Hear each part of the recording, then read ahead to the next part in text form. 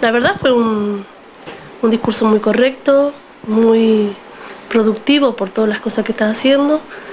Creo que lo que queda muy pendiente es el tema de seguridad, que logremos concretar, porque se está hablando de monitoreo de cámara y todo eso, que realmente lo, lo llegue a concretar con, a través de la ordenanza que hace dos años que se está esperando poder trabajar sobre eso.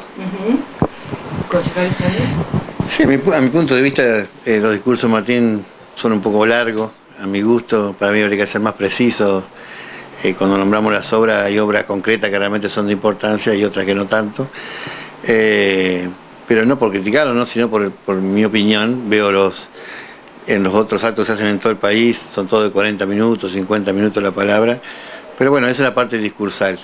Lo que sí, en la parte de lo que, de lo que dijo en realidad, eh, hay grandes verdades, en el, recupero del espacio público, eh, en los cordones cuneta que se han realizado, que después hay un, tenemos que discutirlo cuáles son de, por consorcio, cuáles son por aporte realmente del municipio, habría que decir otras verdades, pero es una virtud de este gobierno de haber dado impronta a las calles de los barrios, pero por otro lado te da un poco de bronca cuando habla de Consejo de Seguridad, que fue cuando el año pasado en las, mismas sesiones ordinarias que se iniciaban, eh, fue casi una promesa de, sacar el Consejo de Seguridad este año y pasó todo el año y no pudimos lograrlo. Y ahora lo vuelve a nombrar al final de la sesión, entonces te da un poco de bronca porque nosotros sabemos cómo es la historia y que estuvo planchado, no hubo decisión política de sacarlo este año, así que bueno, por eso de eso, de eso me queda un poquito la, bronca del final, eh, pero bueno, son, él tendrá que declarar lo que a él le, le parece conveniente, yo te digo de lo político lo que, lo que me parece.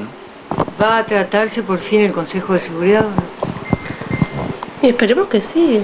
En realidad, cada vez que pasa un hecho delictivo, hay una muerte, nombramos el Consejo de Seguridad, pero me parece que es algo que, que se tiene que trabajar, tratar de unar posiciones y realmente que se concrete, que sea real. Ahora se le sumó un nuevo tema que es este del glifosato y del fumigado, etcétera, que lo sé, lo hablábamos el otro día, Pablo, pero eh, también es cierto que han quedado temas pendientes que haya una parte de la sociedad, no diga toda, no hay, no, no hay ningún tema que de pronto le preocupe a toda la sociedad, pero que es, sí, el Consejo de Seguridad y la tracción a sangre. Bueno, eh, para, para cerrarte el tema del glifosato fue muy correcto el intendente, en ningún momento nombró glifosato, no nombró la palabra glifosato, y nombró, habló de transición y habló de ayudar a los agropecuarios. Ojalá que, ojalá que sea en esa coherencia del discurso de Martín eh, cómo se vaya a terminar con esta ordenanza en estos meses. El tema de tracción Assembly también fue un proyecto del principio del 2016, el primer proyecto nuestro. También fue una promesa, también lo nombró en las sesiones ordinarias, eh, en la apertura de las sesiones ordinarias del año pasado, y también cayó en saco roto. Ojalá que se pueda empezar se puede iniciar porque ese proyecto lleva varios años por corregir la problemática. No es un proyecto de prohibición automática y hay otras cosas relacionadas con la problemática que va a llevar meses a arreglarlo. Como si quisiéramos sacar una ordenanza también de los perros, que, es otra demanda que tenemos en la sociedad y que creo que por consenso los bloques tendremos que hacer un proyecto superador de los perros, sí o sí, porque es una urgencia que nos está apremiando.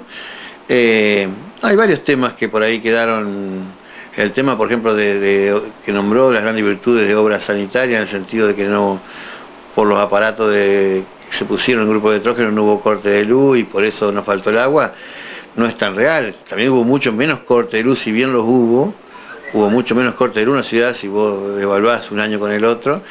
Eh, sí, los equipos eran necesarios, pero digo, nos estamos manejando con pozo, pozo, pozo, pozo, y no hay un proyecto de, agrandar la planta potabilizadora a, futuro, una nueva planta nueva que habría que hacerla. también que los fondos no son tan fáciles de conseguir, pero alguien tiene que iniciar, eh, y también se puede empezar con, con fondos propios eh, la obra y, ir año a año avanzando. Si a nadie va a empezar, nunca se va a terminar también. yo podría dar una mano.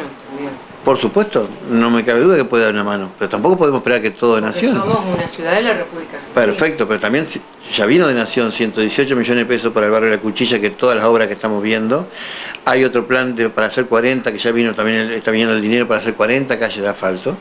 No, lo que pasa es que Martín por ahí no lo declara, o el Ejecutivo no declara la plata que está recibiendo Nación. Está recibiendo mucho Fondo de Nación, toda la provincia, no solo la Municipalidad de Gualeguaychú, pueden preguntar a Laurito cómo está de Chocho con la, plata recibida de Nación, Concordia cómo está de Chocho con la plata recibida de Nación, y Martín por ahí viene un poquito más relegado, porque también, también las gestiones no han sido tan contundentes o tan buenas y se lo hemos criticado. Bueno, mejor porque no están amigos. O porque no están amigos, pero si vos también vas a parar, vas a recibir un ministro, y lo vas a recibir la primera vez que viene a Gualeguaychú, a entregar 20 viviendas con un escrache y con punteros políticos tuyos porque los conocíamos bien, es imposible que vos tengas una buena relación. gente creen que organice un escrache. Eh, eh, Irene, mire ese escrache, si lo tiene grabado en alguno de los medios, y nosotros venga por acá y nosotros vamos a decir uno a uno quién eran los punteros políticos de Martín que estaban en ese escrache. Y venía el ministro del Interior.